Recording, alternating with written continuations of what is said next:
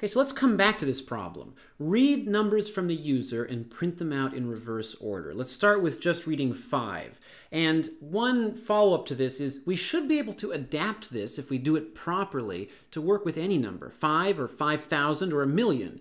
The idea is if we use arrays to automate things, we don't need to copy and paste code. We don't need to add variable declarations for each extra value. All we have to do is change the size of the array, and if I want more values, I guess I should ask the user not 5 5, but 10 or something.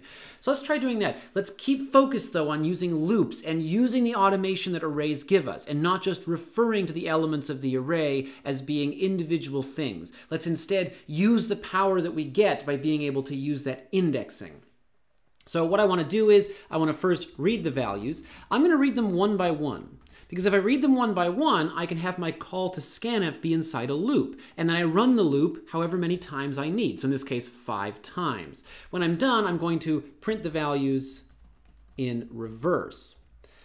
Okay, so the first thing I want to do is I want to loop over all of the elements of the array. So i is 0, i is less than 5. So the last valid index of the array is index 4. So if i is ever equal to 5, the loop should end. And as I've said, you're perfectly welcome to instead, if you want to loop over all indices, do less than or equal to 4, but you'll find that it's often easier just to remember the size of the array, 5 elements, and then go less than 5.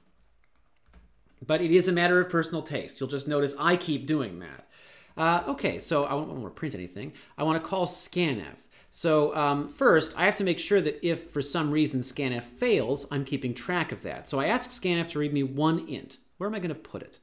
Well, I'm looping over the different indices of my array, so I want to put my result in values sub i. But of course, what scanf wants me to provide is a pointer to something. So values sub i, this expression, is an int, because values is an array of int. And if you go and grab an element of an array of int, you get an int. But I want an int star, I want a pointer. But remember that once you've indexed into an array, once you've subscripted the name of the array, that thing, values sub i, behaves just like any other variable of type int. So of course, if I want to, I can make a pointer to it, arrow pointing at values sub i. That isn't this, the type of this whole expression is int star. Okay, so I call scanf, and then I ask the question, did scanf actually read something? So if values read equals uh, is not equal to 1, then scanf didn't read anything, which means I should print an error couldn't uh, spell correctly, uh, couldn't read um, index.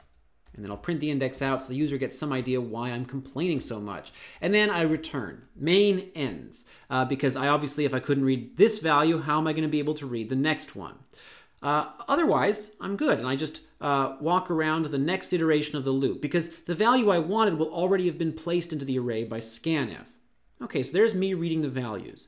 Now to print the values out in reverse, I have to start at the highest index, in this case index 4, and then walk down to index 0. So I want a weird looking backwards for loop. i is equal to 4, i is greater than or equal to 0, i minus minus. Now be careful with this. If you write this kind of loop, trace through it at least once by hand quickly, just to make sure, because often it's easy to overthink it and accidentally adjust too much for the sort of backwards setting. Uh, okay, so I print out the value um, of my array at index i. And one key place you're likely to make a mistake is thinking, okay, I can't just put values i because it's a weird backwards loop. I should put something weird like 5 minus i. Turns out you don't need to. I This convoluted for statement is arranging for i to count down, 4, 3, 2, 1, 0. So all you have to do is use values sub i at each step. Okay, and then at the end we'll print out a new line because inside the loop we don't print any new lines and so we need to end the line when we're done. So we'll try running that. Um, oh, whoops. Yep, got ahead of myself here. We'll get back to that problem in a minute. Um, okay, so enter five numbers, 6, 10, 17, 187, 111, sure, and then there they are printed out in reverse. And what happens if I get lazy halfway through, 6, 6, 10, 17, and some junk, it says, sorry, I couldn't read index 3. So there's index 0, there's index 1, there's index 2, but it got stuck at index 3. Now just to be clear, if scanf ever does this to you, calling scanf again won't fix it. That means scanf got stuck at this letter A, and it just stopped. If you try and read a number with scanf again, it'll see the same letter A and still get stuck and then stop. The only way of getting scanf to skip past that would be to tell it, for example, to read a character or something. And you can see here, if we ask the user for numbers and they entered anything else, we just give up. That's their problem, not ours. Okay, so we have a way of reading the numbers and then printing them out in reverse. Um, and I want to add this extra thing just like before, where we ask the user, hey, okay, I've stored all these numbers up. Why don't you go ahead and tell me which one you want and I'll print it back out. So which element do you want? Is it 0, uh, zero through 4? Okay, and then they enter an index. If they don't, we print out an error. And then we're done, we'll just print it right out. We'll say, okay, the element at index something is something. And uh, I've, I've called this variable which index. And then I print out values at that index. All right, so we'll try that out. And then we have to talk about how to make this a little bit more flexible and how to handle a case uh, at the end here where the user could make a pretty significant mistake and where we have to maybe protect them from themselves. So here we go, I enter five numbers. Um, I'm getting fed up with the same five numbers. Okay, there they are printed in reverse. Which element do you want? I will take index number two.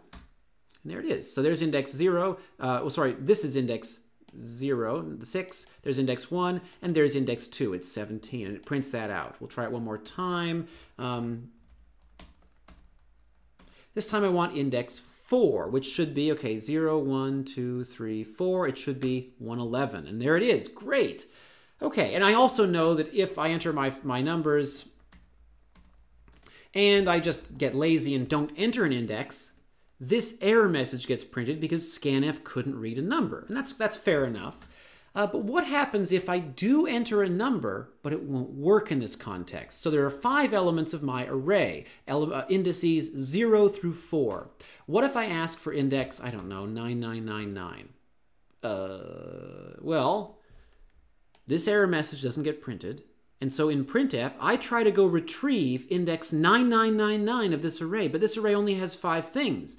And so the program crashes. That's no good.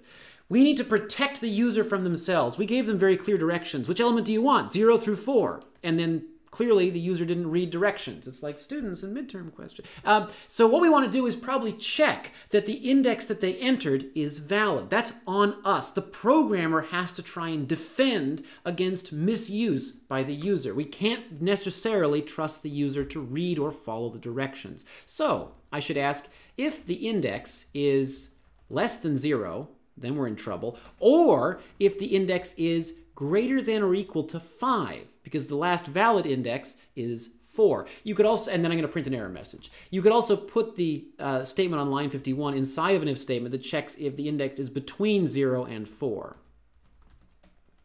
That isn't a valid index. And then we'll exit the program before any more damage gets done. Okay, we'll try that out.